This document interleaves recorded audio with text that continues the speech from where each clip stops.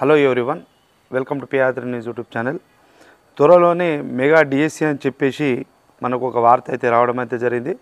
అదేవిధంగా టీఎస్పీఎస్సీ ప్రక్షాళన తర్వాత కొత్త బోర్డు ద్వారా కొత్త ఎగ్జామ్స్ అనేవి నిర్వహిస్తామని చెప్పారు. అంటే గ్రూప్ వన్ కానీ గ్రూప్ టూ కానీ గ్రూప్ త్రీ కానీ ఈ ఎగ్జామ్స్ని కొత్త బోర్డు ద్వారా నిర్వహిస్తామని చెప్పేసి ఇప్పటికే మనకు ప్రభుత్వ వర్గాల నుంచి ఒక ఇన్ఫర్మేషన్ అయితే ఉంది. అయితే ముఖ్యంగా ఈరోజు మీరు అన్ని పేపర్లలో చూసుకున్నట్లయితే త్వరలో మెగా డిఎస్సి దాని గురించి ఒక న్యూస్ అనేది వచ్చింది. ప్రతి గ్రామంలోనూ సర్కార్ స్కూల్ ఉండాల్సిందే అని చెప్పేసి అయితే అన్నారు. అయితే అంతా కరెక్టే ఉంది కానీ ఈ త్వరలో అనేటటువంటి మాటని బీఆర్ఎస్ ప్రభుత్వం చాలాసార్లు చెప్పింది. త్వరలో ఉద్యోగాలు త్వరలో ఉద్యోగాలు అని చెప్పేసి. అయితే మళ్ళీ పాత సీన్ మళ్ళీ రిపీట్ అవుతుందా అనే ఒక డౌట్ అన్నది నాకైతే వ్యక్తమవుతుంది. ఎందుకంటే మీరు చూసుకున్నట్లయితే మార్చిలో లోక్సభ ఎన్నికలు అని చెప్పేసి ఈ మధ్యనే ఒక ఇంటర్వ్యూలో కేంద్ర మంత్రి కిషన్ రెడ్డి గారు చెప్పడం అయితే జరిగింది. అంటే మార్చి ఏప్రిల్లో లోక్సభ ఎన్నికలు అనేవి జరగబోతున్నాయి. అదేవిధంగా మనం ఇక్కడ చూసుకున్నట్లయితే ఇంకొక విషయం కూడా ఉంది.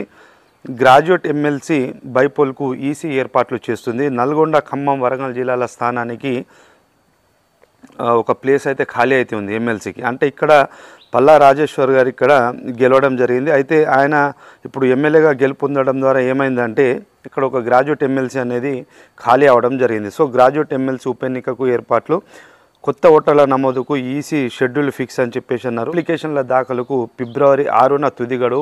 ఫిబ్రవరి ఇరవై నాలుగున ముసాయిదీ ముసాయిదా ఓటర్ల జాబితా అభ్యంతరాలకు లాస్ట్ డేట్ మార్చి పద్నాలుగు అని చెప్పేసి అన్నారు.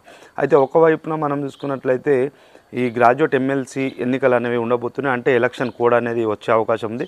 అదేవిధంగా ఆ తర్వాత మనం మార్చ్ ఏప్రిల్లో చూసుకున్నట్లయితే లోక్సభ ఎన్నికలు కానీ ఆ కోడ్ అనేది ఉండేటటువంటి అవకాశం అయితే ఉంది. సో దీన్ని బట్టి మనకి ఏం తెలుస్తుంది అంటే కొత్తగా వచ్చేటటువంటి నోటిఫికేషన్లు రావు. అంటే ఒకవేళ ఎలక్షన్ కోడ్ ఒకవేళ ఉన్నట్లయితే కొత్తగా నోటిఫికేషన్ అనేవి వచ్చే అవకాశాలు ఉన్నాయి మరి ఇప్పుడు ఇట్లా త్వరలో త్వరలో అనుకుంటా లోక్సభ ఎన్నికల వరకు ఒకవేళ సాగదీసినట్లయితే ఆ తర్వాత కొత్త నోటిఫికేషన్లు వస్తాయా? లేక మళ్ళీ ఐదేళ్ళ తర్వాతనే మళ్ళీ ఎలక్షన్ ముందే నోటిఫికేషన్లు వస్తాయన్నది ఇది నిరుద్యోగులు కానీ యువతలో కానీ ఇది ఒక డౌట్ అనేది ఉంది. సో దీనిపైన త్వరగా చర్యలు తీసుకోవాలి. అంటే టీఎస్పీసీ సభ్యులు రాజీనామా చేశారు. మరి ఆ సభ్యుల యొక్క రాజీనామాను గవర్నర్ గారు అయితే ఆమోదించలేదు.